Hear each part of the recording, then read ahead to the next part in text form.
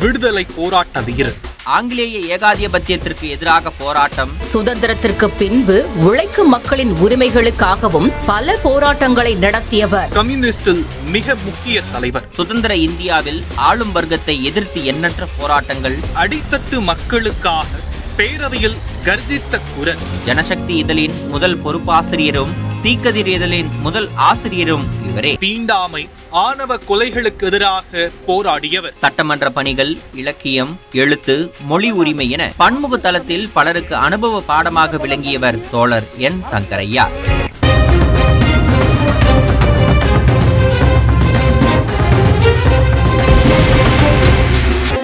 தூத்துக்குடி மாவட்டம் ஆத்தூரில் ஆயிரத்து தொள்ளாயிரத்து இருபத்தி இரண்டாம் ஆண்டு ஜூலை பதினைந்தாம் தேதி பிறந்த சங்கரையா மாணவர் பருவத்திலேயே இடதுசாரி இயக்கங்கள் மீது ஈர்ப்பு கொண்டிருந்தார். ஆயிரத்தி தொள்ளாயிரத்தி முப்பத்தி ஏழாம் ஆண்டு மதுரையில் பள்ளி படிப்பை முடிக்கிறார். அறுபதுகளில் மதுரை அமெரிக்கன் கல்லூரியில் பட்டப்படிப்பு படித்த போதே மாணவர் சங்கம் மூலம் ஆங்கிலேயருக்கு எதிராக கலக்க குரல் எழுப்பினார். கல்லூரி காலத்திலேயே பொது வாழ்க்கையில் ஈடுபடுத்திக் கொண்டவர் விடுதலைக்காக பல்வேறு மாகாணங்கள் போராடி கொண்டிருக்க நேதாஜியை அழைத்து அமெரிக்கன் கல்லூரியில் பேச வைத்தார் சங்கரையா பிஏ இறுதி தேர்வுக்கு பதினைந்து நாட்கள் முன்பாக சிறைவாசம். பதினெட்டு மாதங்கள் சிறையில் இருந்துவிட்டு சீற்றங்குறையா சிங்கமாய் ஆங்கிலேயருக்கு எதிராக கர்ஜித்த போது மீண்டும் சிறையில் தள்ளினார்கள்.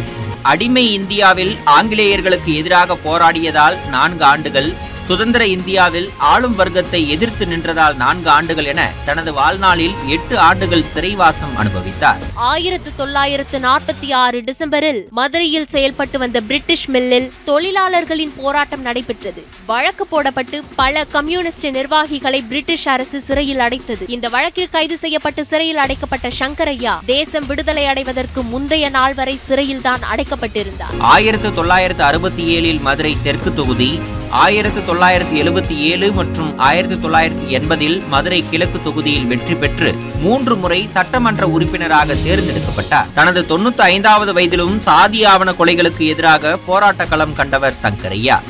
எண்பது ஆண்டுகளுக்கும் மேலான பொது வாழ்வில் ஏராளமான சீர்திருத்த திருமணங்களை நடத்தி வைத்தவர் சங்கரையா. தன் குடும்பத்திலும் சாதி மறுப்பு திருமணங்களை நடத்தி முன்னுதாரணமாக இருந்துள்ளார். இன்னைக்கு உலக தொழிலாளிகளே கோஷத்தை கொடுத்தார்.